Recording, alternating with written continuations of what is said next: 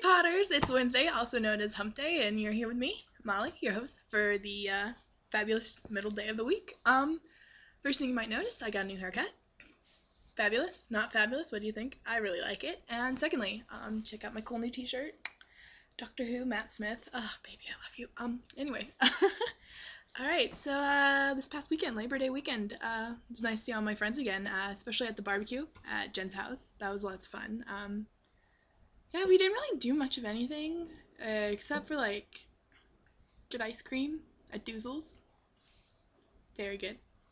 Um, and then we had a little mini, I guess, dance party. It was like inadvertent, you know, like we didn't mean for it to turn into that. It's just that somebody turned on Cher, and from Cher we just kind of progressed, I guess you could say.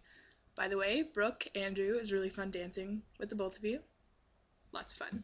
Um, all right, so um, what else happened this weekend? Um, I don't know. Uh, we found a cat. Brooke mentioned the cat. It was over at my house.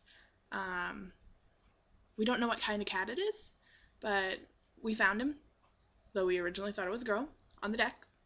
And he came. He kept coming back. So yesterday we took him to the animal sh- uh, no kill animal shelter, and I got good news back, Brooke, and everybody watching. Um, somebody's like they called my mom's cell phone and they said that somebody has already taken an interest in the cat. So this is really good news. Like I'm so excited. I feel like such a good person for taking the cat there. So yeah, I guess I could come from that. Yay. Um, what else? Um, I guess point of the video would be probably good to get to. Um, favorite lessons at Hogwarts. Um, definitely not potions because I wasn't very good at chemistry in high school, and I have a feeling that I just wouldn't be very good at it at all. Um, I'd be a bit like uh, Neville, blowing up cauldrons, melting through them, you know, that sort of thing. Um, but I think I would really enjoy. Well, I know I would really enjoy uh, Transfiguration. A little complicated, but I think like like if I put my mind to it, I could do it. You know, of sort of that thing. And I just think like the theory of it would be very interesting, and you know, yeah. Um, Defense Against the Dark Arts. I uh, for a self-proclaimed Slytherin, that might seem a little weird, but I don't know. You know, like kicking some ass, taking some names. You know, what what. You know, Expelliarmus.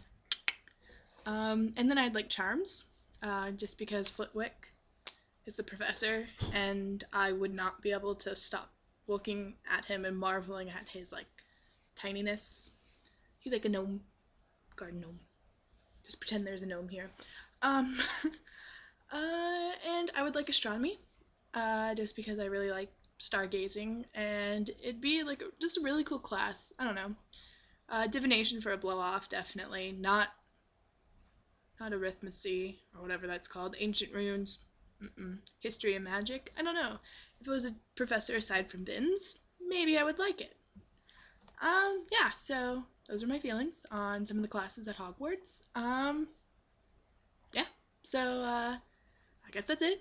I hope you enjoyed this semi-boring video for Wednesday. Um, if maybe when I don't have such like time constraints due to homework, I'll actually make a nice edited video like um, Brooke and Noah's. But until then, we're just sticking to the webcam.